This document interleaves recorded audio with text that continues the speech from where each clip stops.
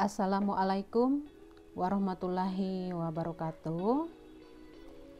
Halo sahabat YouTube di dapur Mama Devna, apa kabar? Semoga kita semua dalam keadaan sehat walafiat.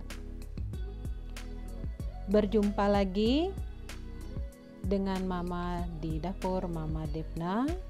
Kali ini kita memasak ikan mojahir campur tempoyak. Sahabat dapur Mama Devna, sudah tahu belum dengan tempoyak?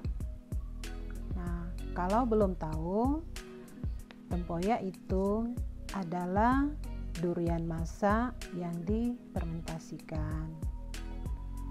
Tempoyak ini salah satu bahan masakan khas daerah Sumatera Selatan. Kita cobain dulu ya.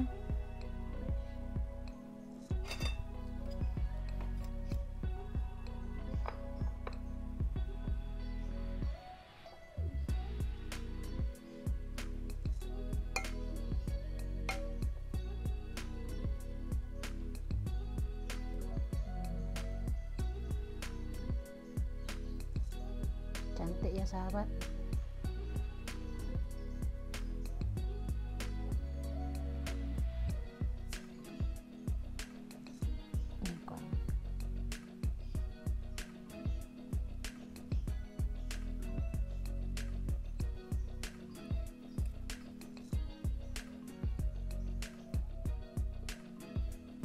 Hmm.